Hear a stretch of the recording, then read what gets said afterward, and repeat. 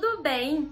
Bom, hoje eu vou falar pra vocês sobre alongamento de cílios. Se você pretende fazer ou tem curiosidade, fica comigo que eu vou te passar tudo sobre. O meu nome é Jéssica e toda segunda-feira eu posto os vídeos assim aqui no canal. Então já se inscreve, deixa seu like nesse vídeo que eu sei que você vai gostar, tá bom? Eu sei que hoje em dia a, o alongamento de cílios ele tá em alta, gente. Quem é que não tem, quer acordar assim maravilhosa com os cílios bafônicos?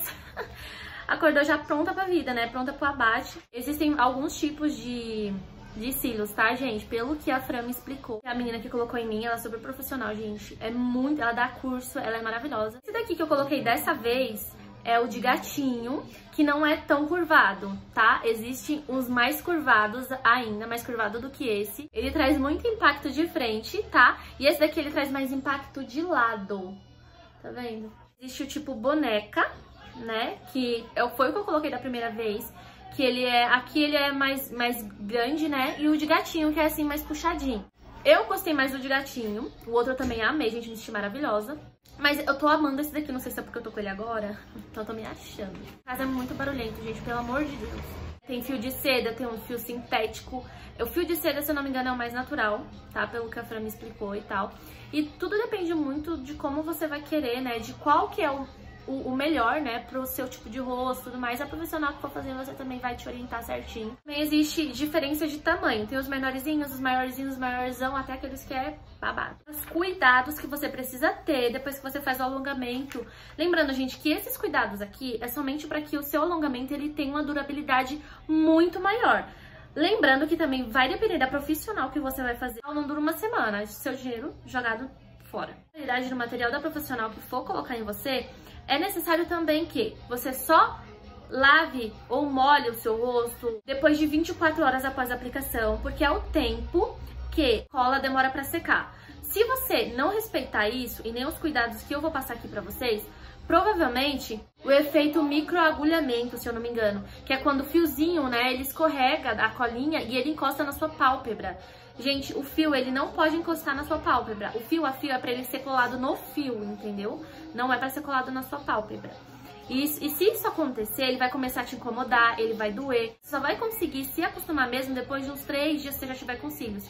Enquanto isso, você vai sentir que tem alguma coisinha pretinha aqui, ou vai ficar passando a mão, até você se acostumar. Pra você higienizar, você precisa utilizar um, um shampoo específico, ou você pode utilizar o shampoo Johnson's também, que tem um pH balanceado e tal, para não afetar na durabilidade da, do alongamento. Não utilizar sauna ou água muito quente, né, direcionadas aos seus olhos. Não ficar esfregando os olhos, tá? E nem gerar muito atrito, como dormir com a rosto no travesseiro, esfregando ou ficar coçando. Isso é óbvio que também vai afetar na durabilidade do seu alongamento. Quando você for tomar banho e for lavar o cabelo, no lugar de você entrar com a cabeça no chuveiro, você inclina um pouquinho a cabeça pra água não cair diretamente, a água quente não cair diretamente nos seus cílios. Não pode usar rímel e nem curvex nos cílios. Evitar usar colírio. Não pode retirar os fios em casa sozinha, gente. Eu sei que vocês vão ver vídeos aqui no YouTube ensinando a como retirar, gente, mas não façam isso, porque vocês vão acabar com seus cílios naturais.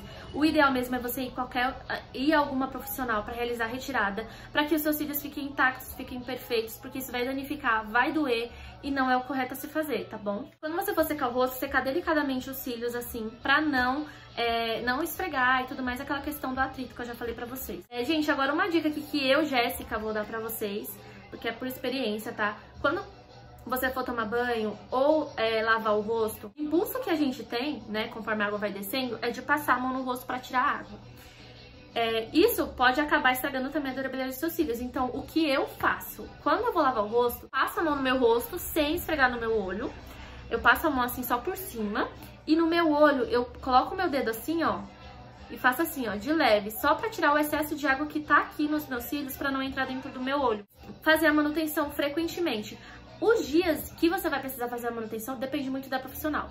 Tem mulheres, tem profissionais que pedem pra você fazer é, em 14, em 15 dias, de 20 dias, então depende muito. É, na Fran, que é na menina onde eu faço, é, 20 dias é o prazo de manutenção que ela dá, porque realmente a, a durabilidade dos, dos, cílios dela é muito grande, o alongamento dela é muito grande, então ela dá 20 dias. A última vez, a primeira vez que eu coloquei, gente, eu fiquei mais de um mês, quase um mês, um mês completo. Me acompanha no Instagram sabe que eu vivi falando, gente, olha o tanto de cílios que ainda tem e tal. Ainda tava com bastante cílios. Agora vamos às dúvidas que vocês mais têm, que eu também coloquei uma caixinha de pergunta lá no meu Instagram pra vocês mandarem as perguntas e eu poder fazer, trazer aqui no vídeo, responder aqui no vídeo pra vocês. É, dói pra fazer a aplicação? Gente, não dói nada. Quanto tempo o alongamento dura? Em quanto tempo precisa ser feita a manutenção? Gente, como eu falei, vai depender da sua profissional, da quantidade de tempo que ela dá. Geralmente, pelo que a Fran me falou, é de 15 a, a 20 dias. De 15 a 20 dias, tá? E perguntaram assim, você não fica incomodada? Gente, no começo é um pouco ruim, para quem nunca colocou. E para quem, pra quem já tá acostumado a utilizar cílios postiços na maquiagem, vai se acostumar de boa. Porque a, a, gente, a gente enxerga alguma coisinha assim, ó, como se fosse um toldinho preto aqui, assim, sabe? Mas depois, com o tempo, você já se acostuma. Por exemplo, eu já não nem percebo mais que tem esse, esse negocinho aqui. Pode usar cílios postiços por cima dos cílios do alongamento? Pode, gente. A Fran falou pra mim que pode, não tem problema nenhum. Só tomar cuidado com a cola, né? Pra não colocar é, por exemplo, bem em cima dos cílios, porque na hora que você for tirar, pode ser que danifique a cola do cílio, do, do alongamento. Então, o ideal é você colocar um pouquinho mais pra cima, né, pra não afetar, não encostar nos cílios do alongamento, tá bom? Onde eu fiz? Gente, eu fiz com a Fran. Ela também atende no estúdio MD. Vou deixar o Instagram dela aqui de novo para vocês conhecerem. Ela é uma ótima profissional, ela tem muito conhecimento, tá? Sobre isso, ela dá curso gostado desse vídeo. Se você gostou, já deixa o seu like, se inscreve no canal e ativa o sininho das notificações pra você ficar por dentro de tudo toda vez que eu postar um vídeo novo. E também me segue lá no Instagram pra ficar pertinho de mim, tá bom? E é isso, meus amores. Um beijo, tchau, até o próximo.